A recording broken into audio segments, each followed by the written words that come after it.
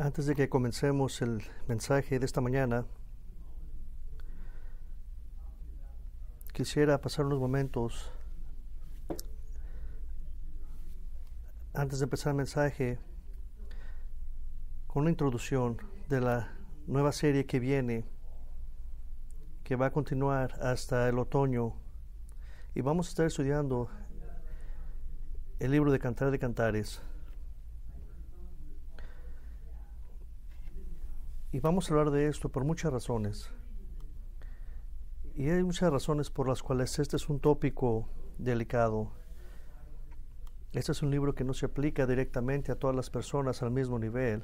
No quiero uh, desanimarlos, pero es un libro que Dios ha puesto en su palabra para estudiarlo. Es un, un tema delicado porque en veces pensamos si los niños puedan estar envueltos en este estudio y esa es una decisión que cada uno de los padres va a tener que hacer.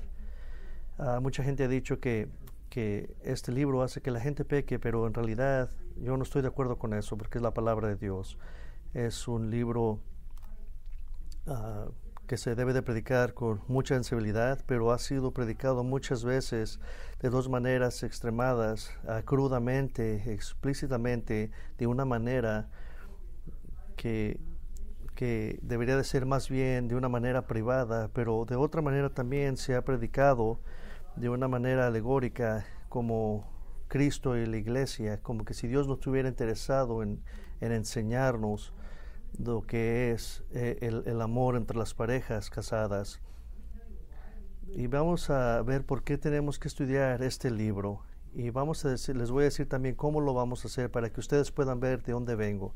Le voy a dar unas razones por cuál lo voy a hacer y voy a ir un poco rápido. La primera razón es porque 1 Timoteo dice que toda la palabra de Dios es útil para nosotros. La segunda razón, tenemos mucha gente joven que, que van a tener uh, la idea del romance de otras personas, mejor hay que hacerlo nosotros aquí para que ellos entiendan. La, también otra razón es porque la intimidad en la iglesia ha sido asaltada por el mundo y es mejor que lo, lo toquemos nosotros de una manera bíblica. Entonces nosotros tenemos que regresar a esta parte de la Biblia para ver lo que Dios dice sobre el matrimonio y la intimidad. También este libro uh, nos permite de un contraste muy hermoso que va de la mano con toda la palabra de Dios. Y también podemos ver que muchas veces entendemos este tema de una manera diferente donde, donde podemos llegar a pensar que es pecaminoso hacer esto y lo contamina todas las cosas malas que pasan en la Biblia conteniendo sexualidad mal guiada por el humano.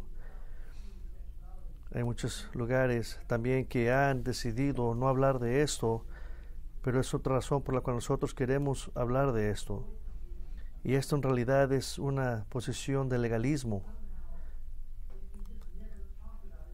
Tratamos este tema como de una manera que si nunca habláramos de esto, esto no va a pasar. Todo esto se traduce a través de la verdad, a través de estudiar la verdad, se traduce en, en, pureza en la iglesia. Otra razón también por la que vamos a estudiar esto es para elevar el matrimonio dentro de la iglesia como algo santo, algo del cielo, algo de Dios. Y yo creo que cada matrimonio en la iglesia debe de oír estas cosas para levantarse otra vez más y entender lo que Dios dice de todo esto.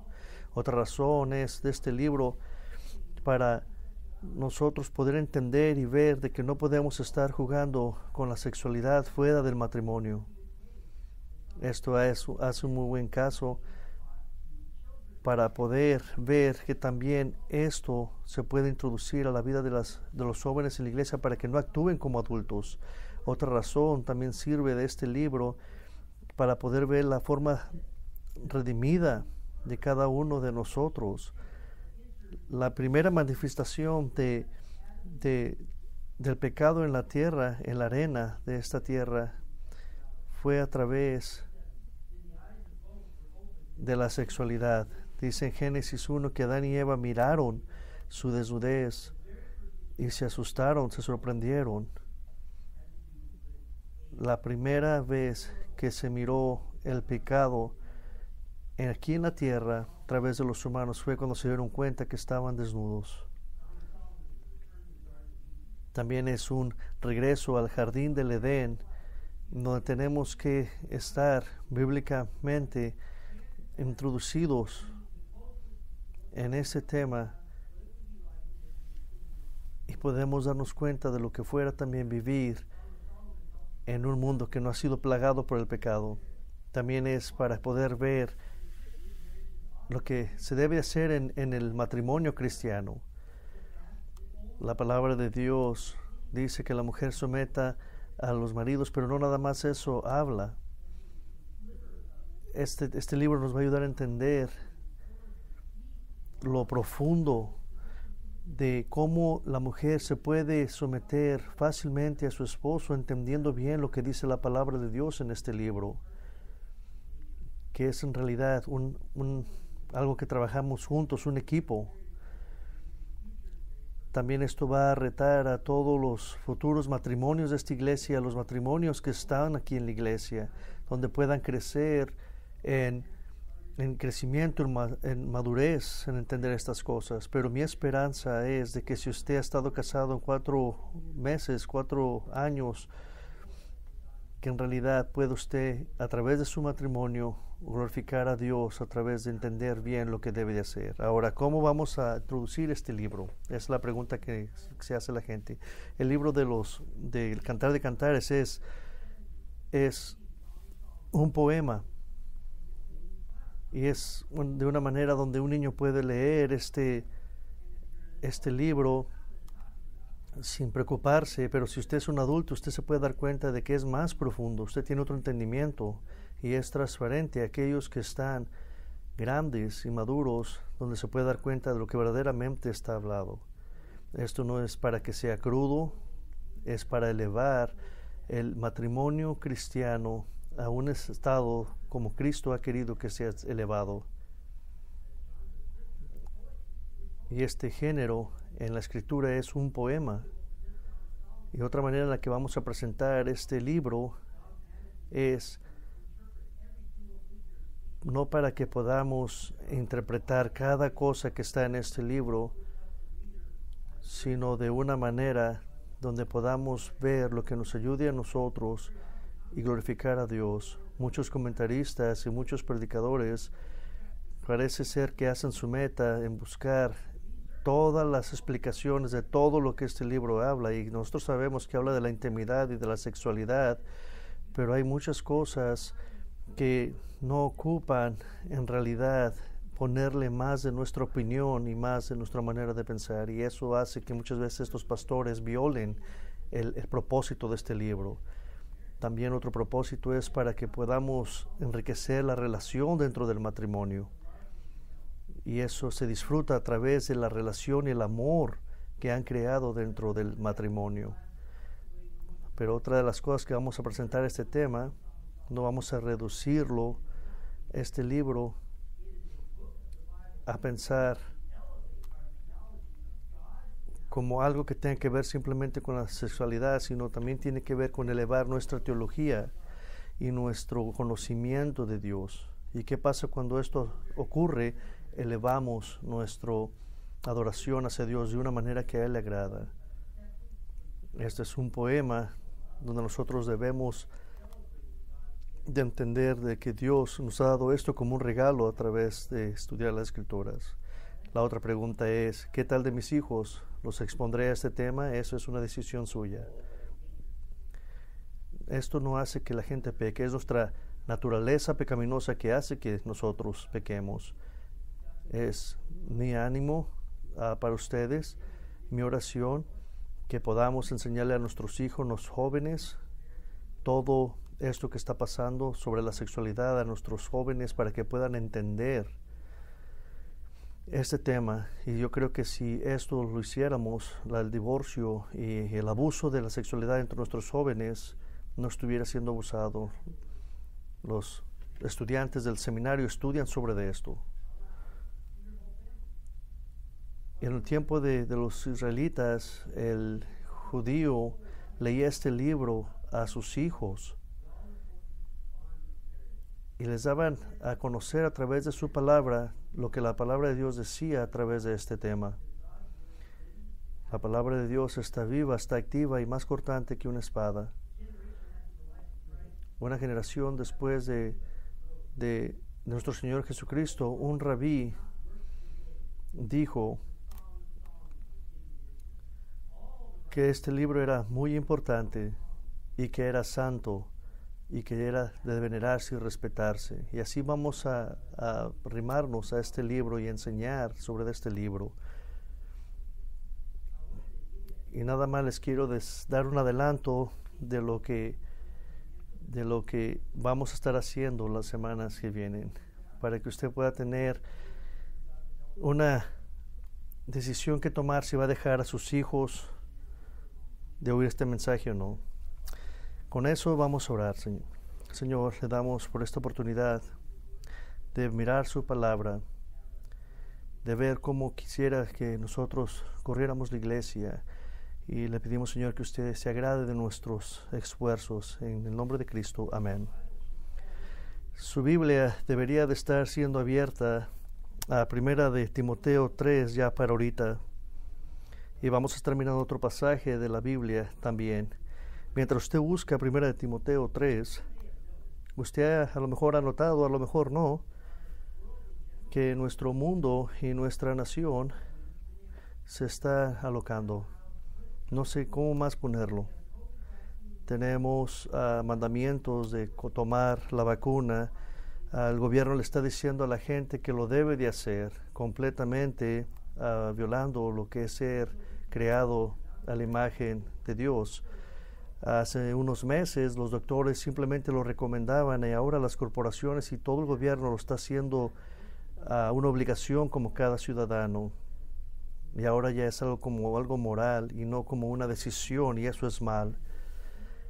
También tenemos otra vez las máscaras, otra vez volviendo de gente que se tiene que poner la máscara y otra vez volvemos a ver que esto es otra vez una violación de nuestros derechos y sabemos que también esto viola porque somos creados a la imagen de Dios y también tenemos la teoría crítica de la raza que se mueven en su autojusticia, su autorredención y actúan de una manera no regenerada y se mueven de una manera donde no consideran lo divino y parece ser que se enfocan en que usted debe de ser despertado uh, y, y, a causa de ese despertamiento usted se ha despertado la realidad. Pero lo que es más alarmante para mí es cuando la iglesia se empieza a creer estas mentiras, cuando parece ser que dejan que la cultura ajuste lo que debe de hacerse la iglesia. ¿Cuántas veces vamos a caer en esa mentira? La iglesia está cayendo y decayendo en estas ideas de cómo ser innovadora, de cómo ser más contextualización en nuestra iglesia, como si de ser mejor que el mundo o igual que el mundo, el Evangelio se va a proclamar mejor la iglesia no puede estar enfocándose en la cultura, porque en realidad es ahí donde nos metemos en problemas. Y nos metemos en problemas porque la cultura está constantemente queriendo moldear la iglesia. Nosotros no podemos estar con la cultura constantemente cambiando lo que ellos quieren que cambiemos. Nosotros no estamos aquí para darle gusto a la cultura. Y aunque lo quisiéramos hacer para el tiempo que lo hiciéramos, ya la cultura se movió en otra dirección. Y nosotros no debemos de hacer eso porque no estamos diseñados para hacer eso. Nosotros ya sabemos qué hacer hasta que Cristo regrese. Pablo dijo en 2 de Corintios, ¿qué comunión tiene la luz con las tinieblas? Nosotros no podemos estar agarrando consejos del mundo. Entonces, ¿cómo peleamos esta montaña de totalitarismo insuperable, de este engaño y tristemente que se está infiltrando a la iglesia. ¿Cómo peleamos eso? Bueno, la respuesta es muy simple, haciendo lo que siempre hemos hecho, siendo miembros fieles y proclamando el Evangelio a la humanidad. Y me atrevo a decir que el componente más grande dentro de la iglesia es tener líderes fieles. Los pastores son las personas que mantienen la verdad dentro de la iglesia o la niegan. Está hablando con una persona que es bautista que dijo, el pastor en realidad no importa, los pastores van y vienen. Al contrario, la palabra de Dios no dice eso. Los pastores determinan de un grado muy alto si la iglesia va a ser fiel o no.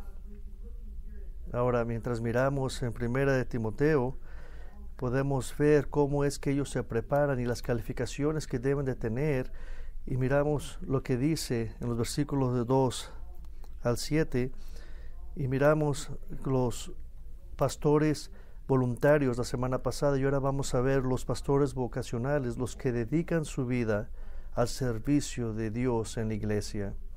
Y una vez más vamos a preguntarnos la pregunta, ¿cómo es que esto se aplica a mí? Primero que todo, nos ayuda a orar por los pastores que están aquí en la iglesia. Ocupamos sus oraciones. Y también ayuda a aquellos que van a ser pastores en el futuro. Y el que usted pueda entender esto también ayuda a la sanidad de la iglesia. Primero ah, quiero recordarles de nuestro ah, capítulo que estamos estudiando, primero de Timoteo 3. Dice así, palabra fiel es esta, si alguno aspira al cargo de obispo, buena obra desea hacer. Pablo usa dos palabras muy importantes. Si alguien aspira o si alguien desea, desea una algo noble.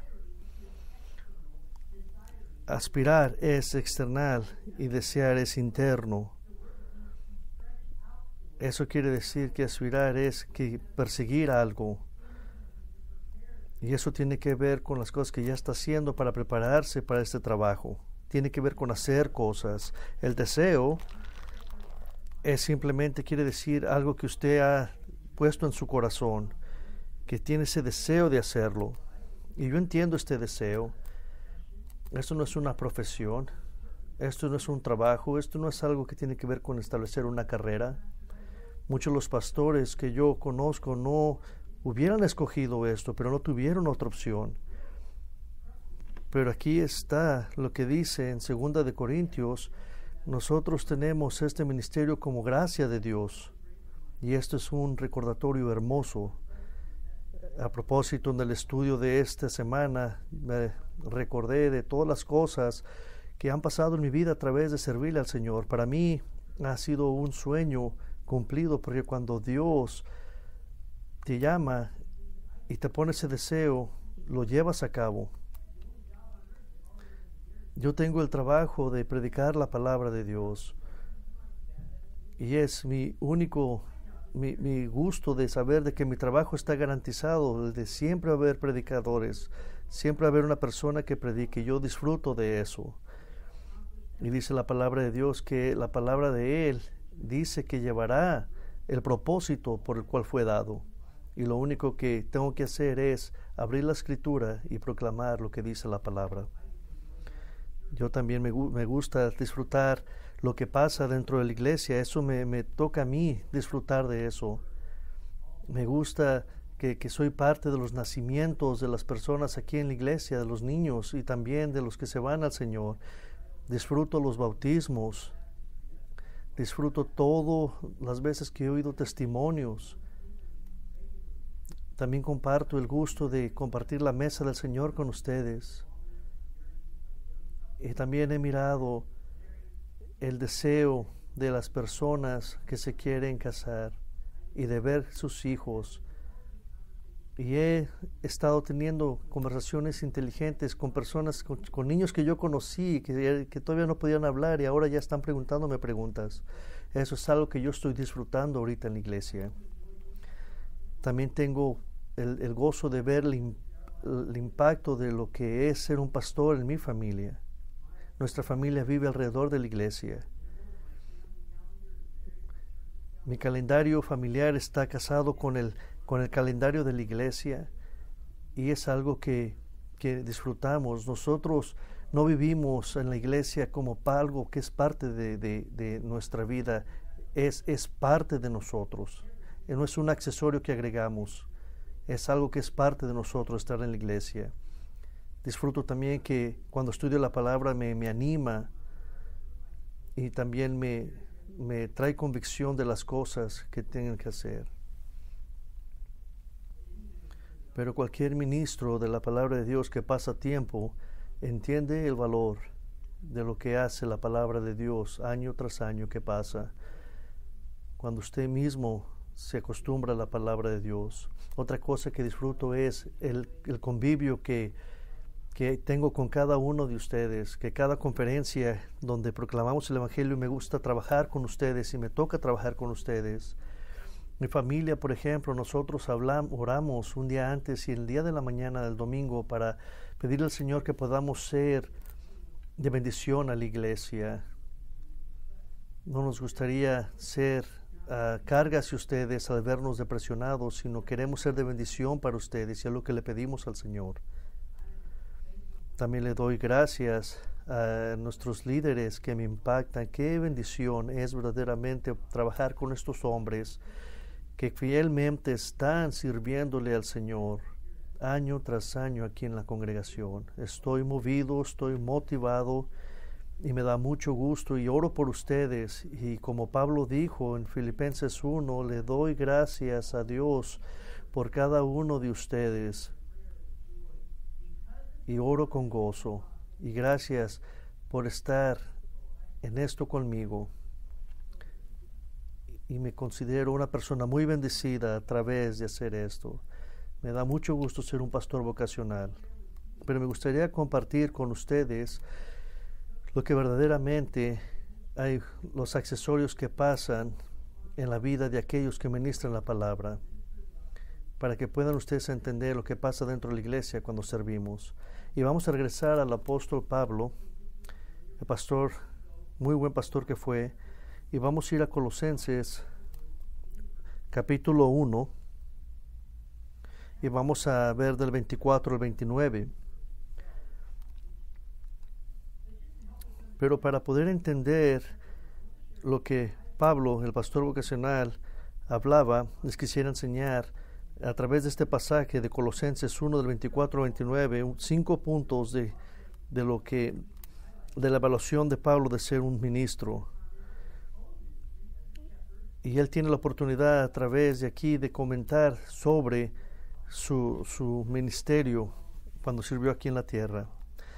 Ahora me alegro de mis sufrimientos por vosotros, y en mi carne, completando lo que falta de las aflicciones de Cristo, hago mi parte por su cuerpo que es la iglesia, de la cual fui hecho ministro conforme a la administración de Dios, que fue dada para beneficio nuestro a fin de llevar a cabo la predicación de la palabra de Dios, es decir, el misterio que ha estado oculto desde los siglos y generaciones pasadas, pero que ahora ha sido manifestado a sus santos a quienes Dios quiso dar a conocer cuáles son las riquezas de la gloria de este ministerio entre los gentiles, que en Cristo en vosotros la esperanza de la gloria, a Él nosotros proclamamos, amonestando a todos los hombres y enseñando a todos los hombres con toda sabiduría, a fin de poder presentar a todo hombre perfecto en Cristo, y con este fin también trabajo esforzándome según su poder que obra poderosamente en mí. Déjeme darle cinco accesorios de lo que hace un ministro en la iglesia. El primero es el precio. Nosotros vemos aquí que Pablo ha hecho una evaluación y dice que ha sufrido pero se regocija en ese sufrimiento. Y dice que él cumplió en la carne lo que faltan las aflicciones de Cristo y cumplo en mi carne lo que falta las aflicciones de Cristo. Esto no quiere decir que Pablo está agregando más al sacrificio de nuestro Señor. Lo que él está diciendo es que ahora Cristo está en el cielo y yo como representante de Cristo en la iglesia, en un sentido sigo continuando con los sufrimientos de Cristo por lo que él hizo. Jesucristo les prometió a los apóstoles que ellos iban a tener sufrimientos, iban a tener tribulaciones, y Pablo simplemente se afila a las líneas de aquellos que están sufriendo por Cristo. ¿Qué sufrió Pablo? Segunda de Corintios dice Cinco veces he recibido de los judíos treinta y nueve azotes. Tres veces he sido golpeado con varas, una vez fui apedreado, tres veces naufragué, he pasado una noche y un día en lo profundo, con frecuencia en viajes, en peligros de ríos, peligros de saltadores, peligros de mis compatriotas, peligros de los gentiles, peligros en la ciudad, peligros en los desiertos, peligros en el mar, peligros entre falsos hermanos, entre trabajos y fatigas, en muchas noches de desvelo, en hambre, sed y a menudo sin comida y frío y desnudez, y además de todas estas cosas externas, está sobre mí la expresión cotidiana de la preocupación de todas las iglesias. Esto es lo que él estaba pasando y esto no fue una decisión de, de, carrera para él, esto fue una compulsión, un llamado que él tuvo de dar su vida para el ministerio. Cuando su cabeza fue cortada fuera de Roma, así acabó su vida y su testimonio fue fiel hasta su último día. Pero hay realidades dentro del ministerio. Usted da sus aspiraciones y sus deseos, cualquier cosa que usted tenía pensado hacer en la vida, usted renunció a eso. ¿Por cuánto tiempo? En realidad, por siempre. Ya usted ya no lo va a hacer. Usted tristemente empieza a experimentar esas ovejas que muerden. Pablo dijo que una vez esas personas que él sirvió que una vez que lo ayudaron, se voltearon y, lo destruyeron. Dice Gálatas 4, ¿dónde está pues aquel sentido de bendición que tuviste? Pues fue testigo soy en su favor de vosotros, que estuvieron a punto de quedar sus ojos por mí. Otra cosa que batalla un ministro es el, lo triste que, que uno experimenta cuando le dice a las personas que es un ministro. La gente les dice que es lo que hacen a través de sus carreras. Y cuando uno les dice que usted es pastor, ellos lo miran a uno como si no tiene casa. Y lo miran a uno como que no pudo hacer otra cosa en la vida. Los pastores no van a las reuniones de la preparatoria porque todos pueden decir lo que hicieron de sus vidas y cuando dice usted que usted es pastor, la gente lo ve mal usted vive una vida donde depende de, del cuidado de Dios. No hay pensión, no hay garantías. La iglesia puede en un momento estar exclusivamente pagándole a 10 ministros y de otro momento ya no le quieren pagar solamente a uno porque a todo cambió. Y los pastores constantemente viven con la ironía que que viven de las personas que les está predicando la palabra. Y esa es la razón por la cual colectamos la ofrenda antes de predicar, para que no se desanime y ya no quiera dar al final de la predicación. Nosotros no venimos a los pastores, al pastorado, para hacernos ricos. Y muchas veces cuando empiezan a experimentar la provisión de Dios en el dinero, se apartan porque ya no viven cómodos. Nosotros ya perdimos cuenta en mi propio matrimonio con Silvia de, cuántas veces Dios ha prohibido para nosotros. Yo no conozco ni un pastor que no esté sufriendo un sufrimiento crónico en su vida. Usted es asaltado constantemente con tentaciones. Usted es atentado Usted es atacado por la tentación de querer atención, de creer que, por usted la iglesia crece, que, que no es indispensable. Es tentado con la tentación de querer levantar eh, la iglesia a sus propios estandartes y no a Cristo. También es tentado con estudiar muchas, con muchas actividades y en vez de estudiar la palabra de Dios. Y la lista no acaba ahí. Y eso es la razón por la que ocupamos sus oraciones en nuestras vidas. Hay otro accesorio que, que el ministro debe de tener, el retrato, el cuadro de lo que tiene que ser. Dice que Pablo, Pablo dice que se hizo un ministro y tiene una connotación como del clero, pero Pablo en realidad está dando un cuadro de lo que un diácono hace, que el ministro es un siervo. Pablo no está diciendo que él es la realeza dentro de la iglesia. Dice que él es un siervo. ¿Por qué? Por el versículo 24. Por el cuerpo de Cristo. La iglesia no es, no es el, juego final de, por cual Pablo se mueve. él mira esto como el final de todo su trabajo. Él mira la iglesia como algo serio, como el final de su trabajo. Y él se mira como un siervo dentro de la iglesia. Y interesantemente, él nos da otros cuadros de lo que el ministro, el ministerio es. Y aquí hay otro cuadro. Él, da el cuadro de que ser un ministro es ser como un soldado dice Primera de Corintios 9:7, ¿quién fue jamás soldado a sus propias expensas? Lo que él está haciendo aquí es dejarle saber a la iglesia que un buen ministro merece ser compensado por su trabajo. Él también les dice a, a y a Arquipo que son soldados junto con él. Segunda de Timoteo 2, 3, 4 dice, sufre penalidades conmigo como buen soldado de Cristo Jesús. Ningún soldado en servicio activo se enreda en los negocios de la vida diaria a fin de poder agradar al que lo reclutó como soldado. También da otra comparación. Da la comparación de que un ministro es también como un granjero. Y dice, ¿quién ha servido como soldado a sus propias expensas? Y da la, la comparación de que es como un granjero el ministro. Y dice la palabra de Dios que el trabajo es mucho y los sembradores son pocos, los trabajadores son pocos. En su parábola del sembrador Jesucristo dice que la palabra es como un sembrador que está aventando la semilla. Mucha cayó en buena tierra y la otra no cayó en buena tierra. Una chica dio fruto, otra no.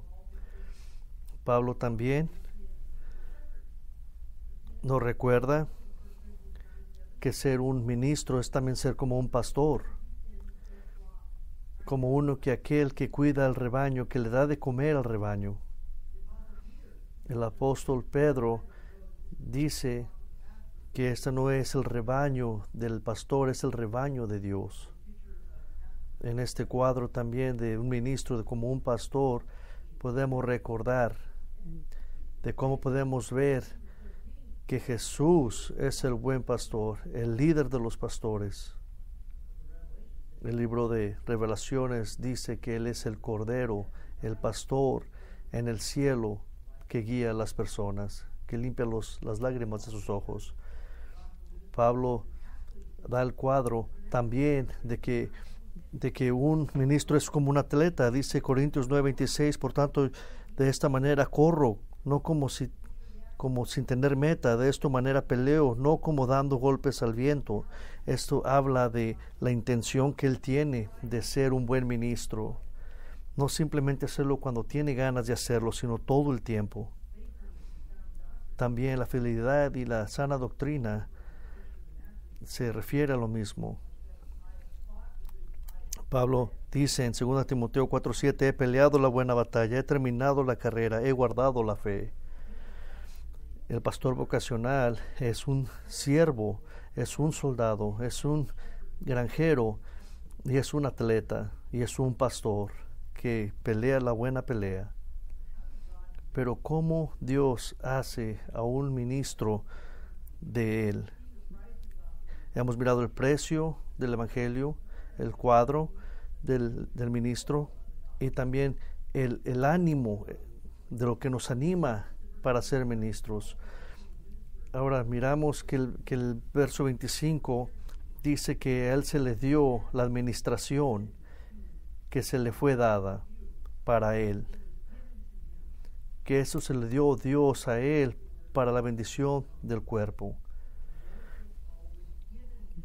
Nota que Pablo se le fue dado esto. Él fue cegado a través de su camino a Damasco y fue ahí donde Dios le habló para ser representante de Cristo aquí en la tierra. Y él reconoce esto y les está diciendo que él fue escogido por Dios. Y hay muchas veces que esto es identificado como el llamado de Dios hacia el ministro, porque Pablo dice que él fue llamado. Hay mucha gente que ha debatado, que ha traído el debate de decir, ¿verdaderamente hay un llamado de Dios o simplemente es un deseo? Bueno, me gustaría apuntar al sinnúmero de hombres por los últimos dos mil años que no han podido hacer nada más, porque no pueden pensar en nada más, que no han podido enfocarse en nada más que en el, hecho de ser fieles como pastores del rebaño de Dios. Generalmente hablando, este llamado, si puede ser uh, describido de esa manera, es a través de un deseo, es algo que nos mueve para hacia esa dirección, pero el deseo es simplemente el comienzo. Yo quería ser un jugador famoso, y usted puede desear otras cosas, pero no es demasiado para servirle al Señor. Ese hombre que desea también debe de ser aprobado, debe de ser uh, puesto a prueba y debe de invertir tiempo en prepararse, no, no días, no meses, años. A propósito, muchas de las cosas que nosotros podemos hacer como iglesia local, si un día tenemos dinero extra es poner dinero a un lado para levantar pastores en el futuro, para poderles pagar en el futuro. También tiene que ver con un ministro pasar tiempo estudiando la palabra. Pablo dice a Timoteo que se cuide de su corazón y se cuide su, su vida en cómo se conduce. La Biblia dice que estas cosas son necesarias para un ministro. Por eso los hombres no se deben de poner ellos solos.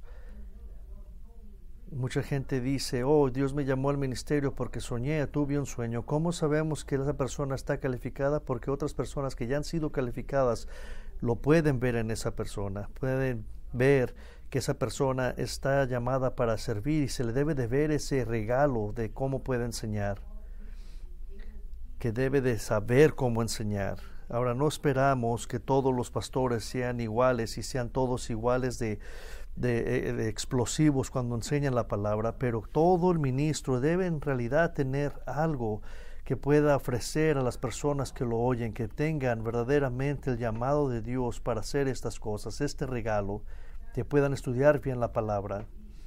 El pastor, el futuro pastor debe de de representar las cualidades de Cristo en su vida, para ser como Pablo que dijo que, él estaba en los dolores de, parto hasta que Cristo se ha formado en ellos. Ese es el, el deseo del ministro y es ahí donde nosotros podemos ver un ardiente deseo de hacer eso y todo lo que está en nuestro calendario debe de ser cancelado para enfocarnos en esto. Y nunca debemos reemplazar la palabra de Dios, el estudio de la palabra de Dios, por otras cosas en nuestra vida. La preparación para ser un buen ministro. También vamos a ver la preparación del ministro dentro de la iglesia. Pablo dice que se le fue revelado el misterio, el misterio que fue escondido por las edades y que ahora Él sabe la matiz de todo lo que esto quiere decir. ¿Y qué es este misterio? Versículo 27 lo dice, Cristo en ustedes para su gloria. Si un hombre debe de proclamar a Cristo completamente y debe de explicar todos sus misterios, eso no quiere decir que este hombre debe de saber lo que está hablando y ser entrenado a un nivel muy alto. No todos los hombres siguen ah, el, mismo, el, mismo llamamiento del ministerio hacia el ministerio.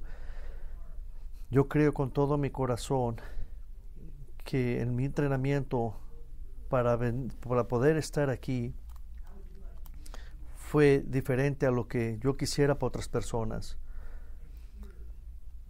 pero tienen que ser entrenados. Usted no quisiera ser operado por un doctor que simplemente leyó un libro en cómo operarlo. Yo quiero una persona que sepa lo que está haciendo. Hablé con una persona hace mucho tiempo que quería ser parte del ministerio, pero no quería tomar ningún sacrificio en entrenarse y gastar su tiempo en, en, en, en, equiparse. He platicado con gente que quiere verdaderamente estudiar la palabra de Dios y no, quieren estudiar. Muchas veces cuando me han dicho que quieren ser parte del ministerio, que, que no ocupan decir que no ocupan ser entrenados. Hay mucha gente que me ha dicho, oh, Charles Spurgeon nunca fue al seminario, ¿por qué tendría que ir yo? Y yo siempre les digo, ah, en realidad tú no eres Charles Spurgeon. Mucha gente dice, la Biblia no habla de eso. Los discípulos no fueron. En realidad los discípulos estuvieron con Cristo por tres años, día y noche. Ese es el mejor ministerio, el mejor seminario. Pablo fue enseñado por Gamaliel también. Y tercero, también tenemos un ejemplo en el libro de los Hechos como precedente de por qué es que los ministros deben de equiparse. Fíjese lo que dice Hechos capítulo 19 del 8 al 10. En, Efesios, Pablo abrió una iglesia, una, un lugar para entrenar a las personas en Asia. Pablo estaba en su tercer viaje misionero.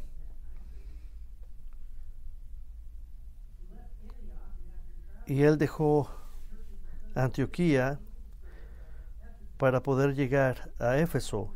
Y fíjese lo que dice el capítulo 19 de Hechos, el versículo 8. Entró Pablo en la sinagoga y por tres meses continuó hablando denodadamente, discutiendo y persuadiendo acerca del reino de Dios pero cuando algunos se endurecieron y se volvieron desobedientes, hablando mal del camino ante la multitud, Pablo se apartó de ellos, llevándose a los discípulos y discutía diariamente en la escuela de Tirano. Esto continuó por dos años, de manera que todos los que vivían en Asia oyeron la palabra del Señor, tanto judíos como, como griegos. Esto no es la, la, forma de un seminario, pero esto sí nos da el precedente de que tenemos que equiparnos. Primero que todo hay una concentración en la verdad. Pablo razonaba primero con todos aquellos que querían oír, pero después se apartó de aquellos que no querían oír y se enfocó en aquellos que sí querían aprender. Se enfocó en, en aquella gente que quería oír la verdad. Él no se enfocó en nada más que predicar la verdad y enseñarles la verdad a estas personas. Nosotros no ablandamos el Evangelio para ser aceptados en la cultura. ¿Por qué Pablo se apartó de aquellos que no querían aprender y acercarse a aquellos que querían aprender porque ellos sí querían proclamar la verdad. Y aquí podemos ver un presidente, presidente para ver lo importante que es equiparse dentro de la iglesia. Esto era un, un salón de, donde se llamaba el, el, el, salón de tirano y era un lugar simplemente donde, donde era lugar de ocio donde la gente perdía el tiempo. Y los griegos hacían esto por entretenerse, ir a lugares donde podían oír debates. Eso no es muy popular en nosotros, pero eso es lo que ellos hacían para divertirse. Y dice que Pablo enseñaba desde las 11 de la mañana hasta las 3 de la tarde. ¿Por qué es importante eso? Porque en eso, en ese tiempo, era cuando la gente dormía. Y Pablo usaba este tiempo uh, para predicar la palabra, para enseñar la palabra. ¿Por qué hacían ellos en este tiempo en la cultura? ¿Por qué? Porque era el tiempo donde aprovechaban para descansar mejor, como la cultura en Grecia. Y era el tiempo donde Pablo aprovechaba, el tiempo más caliente del día, para enseñar a las personas que querían aprender. Era un enfoque donde él dedicaba su vida diario por dos años,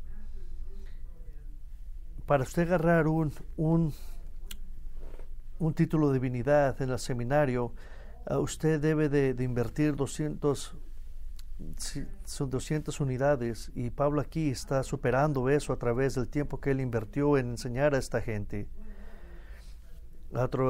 Otra cosa que usted puede ver es que hubo resultado de lo que Pablo hizo a través de haber entrenado a las personas. Concentró sus esfuerzos y, los resultados fueron extremadamente de mucho fruto. ¿Por qué? Porque la gente que estuvo a sus pies oyeron el Evangelio a través de Asia. Toda la gente, los historiadores están de acuerdo en, en decir que la gente que plantó iglesias en todo Asia Menor vinieron de este lugar, del salón de tirano donde Pablo enseñó.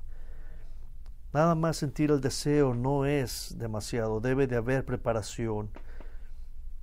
Vea lo que dice en Colosenses 1:28. Hay otro accesorio que el ministro debe de tener.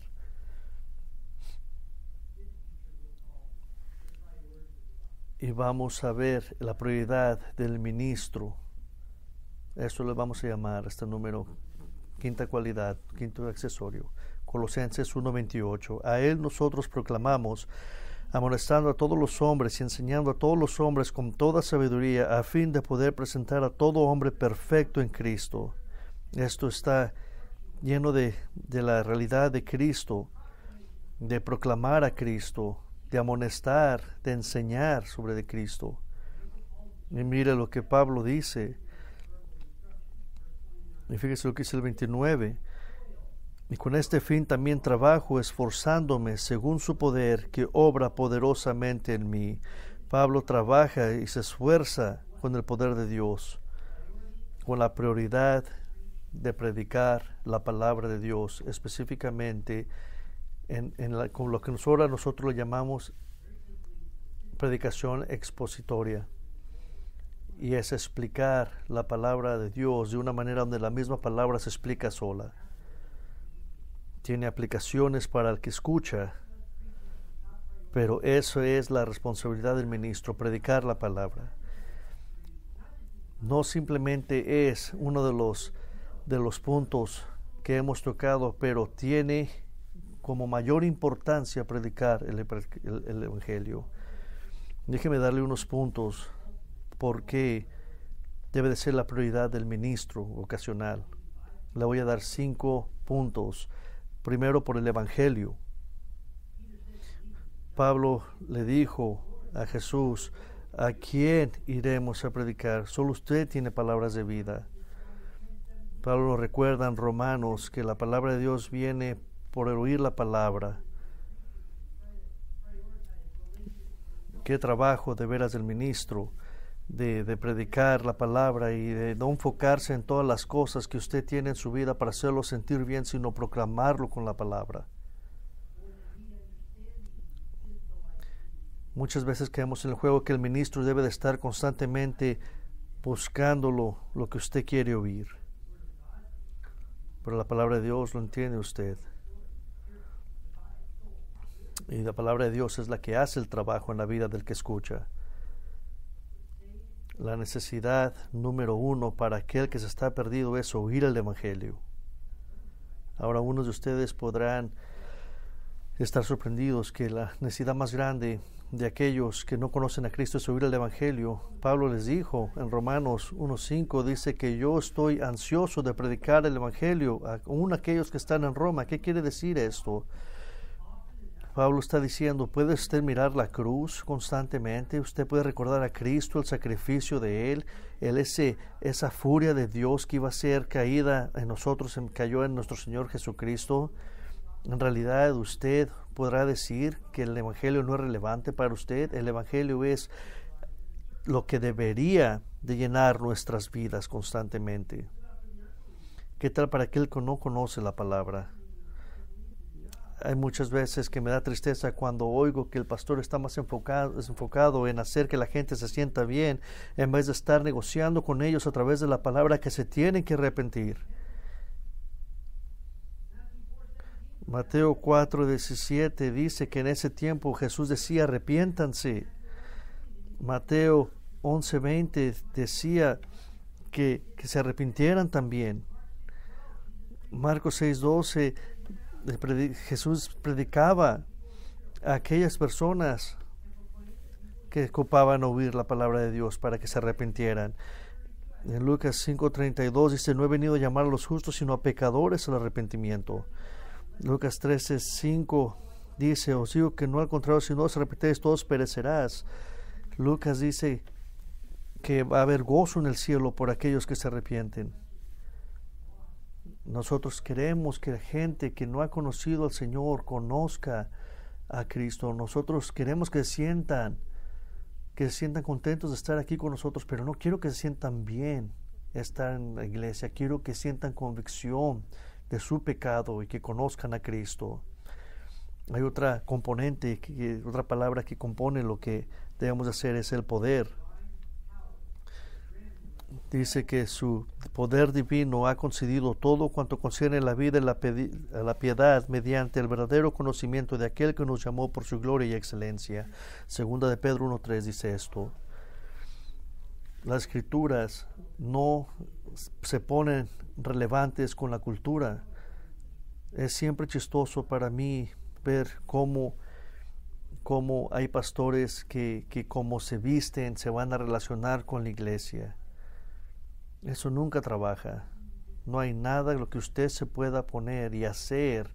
No hay un estilo de pelo, no hay nada que pueda hacer que usted en su manera de verse reemplace la palabra de Dios.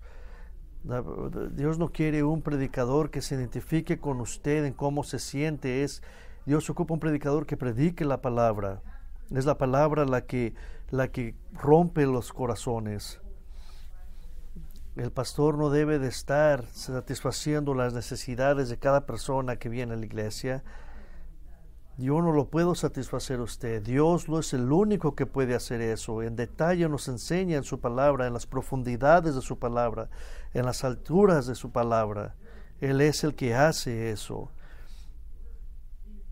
Cada vez que predicamos debemos de ser poderosos en la proclamación del Evangelio. Cada vez que miramos a estas personas que buscan uh, ser sensibles con las personas a través de otras cosas que hacen, fallan es una idiotez, no tiene sentido. Hay poder en la palabra de Dios y debemos entender eso. Escuche, la palabra de Dios es como un carro de lujo que simplemente se sube y disfruta ese raite. Pues así de poderosa es la palabra de Dios. También tenemos la certeza, esa es la segunda palabra tópica. Salmo 119, 105 dice, lámpara a mis pies tu palabra y luz para mi camino. Salmo 119, 130 dice, la exposición de tus palabras imparte luz de entendimiento a los sencillos. Me gusta esta palabra, el desarrollo de tu palabra. Quiere decir una palabra hebrea que dice que algo se suelta. Es como soltar la palabra. La palabra de Dios es universal, transcede tiempo, cultura, geografía, presenta verdad, que usted puede apostarle su eternidad en eso. Nosotros sabemos lo que la Biblia dice porque la estudiamos y está llena de claridad, está llena de, sabiduría, de exactitud. La palabra tiene mucha, mucho detalle que describe a Dios, el carácter de Dios. En la Biblia usted puede encontrar todo lo que la gente no puede explicar, quién es Dios, qué es lo que Dios requiere de las personas, cuáles son las respuestas de, al pecado, por qué hay tanta destrucción en el mundo, por qué el pecado, por qué el pecador sobresale. Todas esas preguntas están en la palabra de Dios. ¿Cuál es el futuro mío de Dios? ¿Cuál es mi futuro si no estoy con Cristo? Todo esto lo contesta la palabra de Dios. Porque usted tiene la palabra de Dios, usted puede ver esto y puede tener seguridad eso es la razón por la cual cristianos eh, podemos enfrentar cualquier cosa en la vida con gusto. Yo he conocido literalmente cristianos y personas que recibieron malas noticias y las abrazaron con, con gusto y con confianza porque saben de su futuro. Dios es santo, es justo, lleno de gracia, amable, todo lo sabe, todopoderoso, lleno de sabiduría, todo suficiente. La Biblia presenta a Dios de una manera que sacia y apaga nuestra sed. la palabra de Dios nos debería de llenar constantemente a través de, de llenarnos de gozo. Hace varias décadas atrás se hubo un movimiento que te enseñaba que nosotros nunca íbamos a, a, llegar al entendimiento de la palabra. Eso ya muy, muy bueno. ¿Y dónde está esa iglesia ahorita? Se fue. Esos hombres que proclamaban no eran parte de la iglesia. ¿Dónde están esas congregaciones? Se acabaron. Que en realidad nunca pudieron entender la palabra de Dios. Usted ocupa respuestas a través de la Biblia. Y cada vez que usted escucha la palabra de Dios, usted sacia su, sed que tiene de la palabra de Dios. Déjele doy otra palabra clave cuando viene a la exposición de la palabra. ¿Por qué? Porque nos parecemos más a Cristo.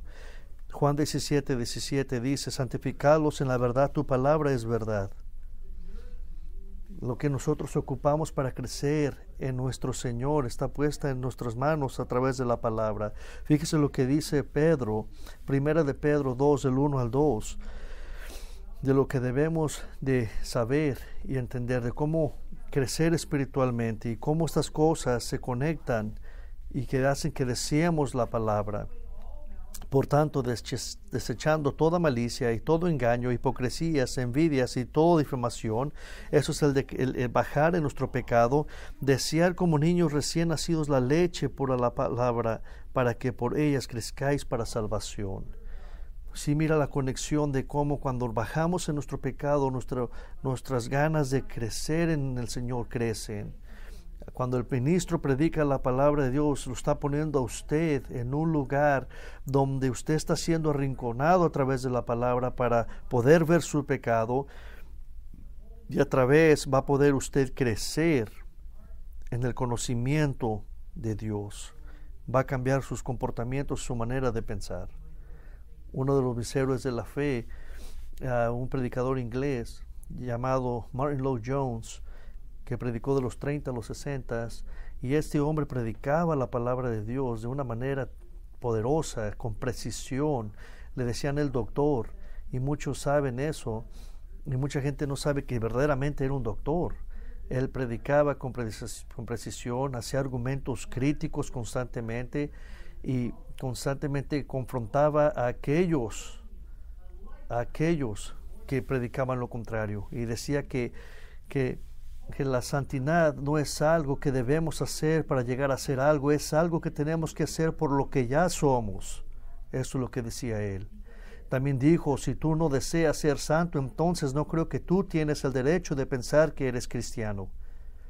Y también dijo esto, la gloria del Evangelio es que cuando la iglesia es absolutamente diferente del mundo, es cuando el mundo es más atraído hombre sabio, usted no atrae al mundo al tratar de ser como Él, usted trae al mundo cuando usted es diferente. Nosotros también debemos entender cómo adorar, es la palabra clave también.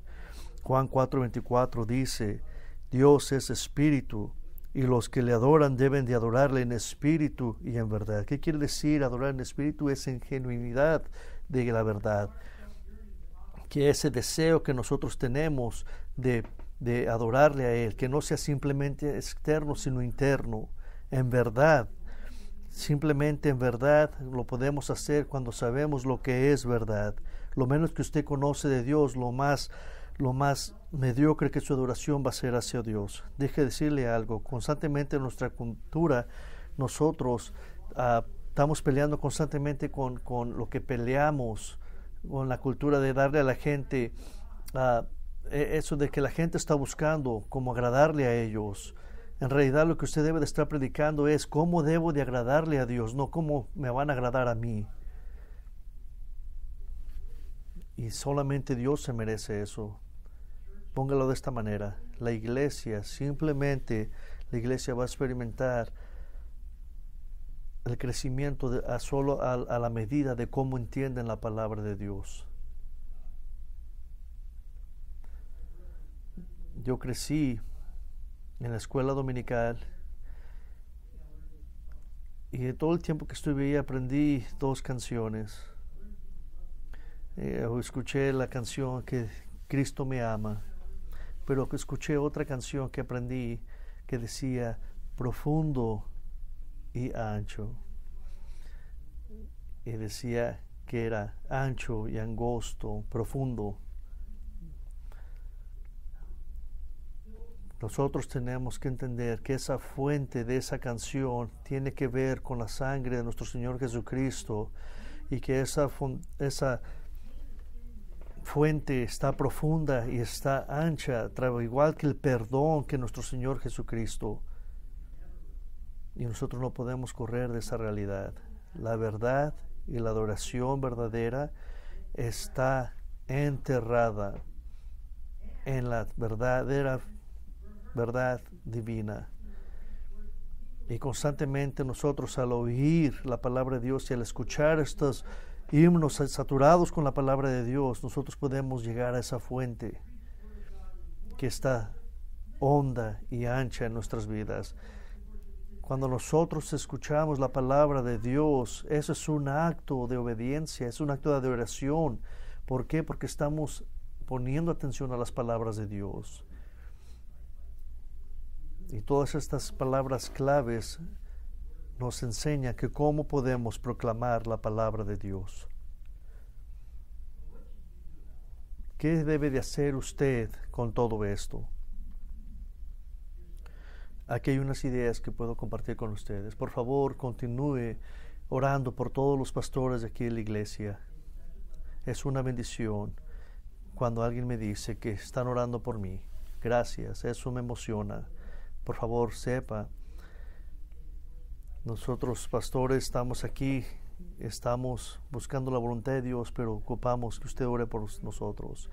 Ore por todos los pastores nuevos que están aquí en la iglesia, para que se levanten más pastores aquí en la iglesia.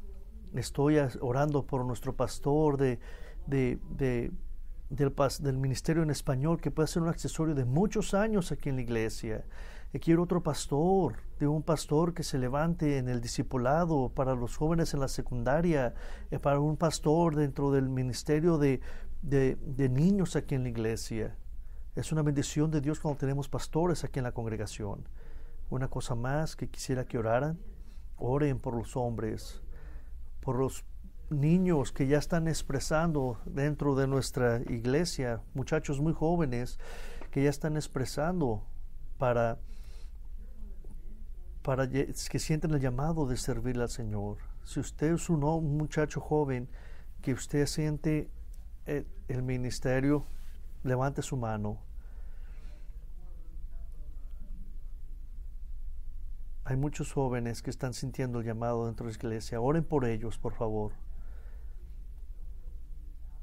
Un pastor estadísticamente va a impactar a mil personas en su vida. Lo que usted vio a esas manos que vio que se levantaron es fenomenal.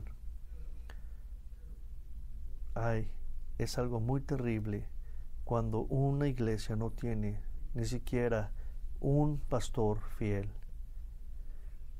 Es hermoso ver pastores dentro de la iglesia que están sintiendo el llamado. Hay que orar. Gracias Señor por estas, estos oídos que están escuchando su palabra, que aman su palabra le pido por aquellos que están mirando a través de la internet. Doy gracias por su iglesia. Como dice Efesios, dice que cuando Cristo se ascendió al cielo, Él dejó regalos a los hombres. Le doy gracias por los hombres que me pastorearon a mí. Le doy gracias por ese hombre joven que pasó tiempo conmigo y me enseñó el libro de Romanos. Le doy gracias por los pastores que yo he tenido. Le doy gracias por Tommy Nelson, que pasó tiempo conmigo explicando la palabra de Dios y, pasó tiempo conmigo. Hebreos, Hebreos 13, 7 dice que recordemos a aquellos que nos enseñaron la palabra. Le pido, Señor, por nuestros pastores aquí, que se queden en ese curso, que se queden fieles. Y le pido por todos aquellos muchachos jóvenes que han sentido el llamado, o ayúdelos, Padre. Prepárelos, Señor, levántelos para que puedan servirle a usted como usted se lo merece, para agradarle a usted. Y le pido, Señor, que como iglesia podamos ser fieles en la cara de un mundo que se está yendo rápidamente hacia abajo. Que podamos ser fieles a través de una nación que constantemente desean alabarle a Satanás en vez de a Dios y que nosotros podamos ser fieles hasta que su Hijo regrese, hasta ese día final, que usted pueda llevarnos a casa. Yo sé que esto es pedir mucho, pero que esta iglesia pueda ser parte de su trabajo aquí en la tierra. En nombre de Cristo. Amén.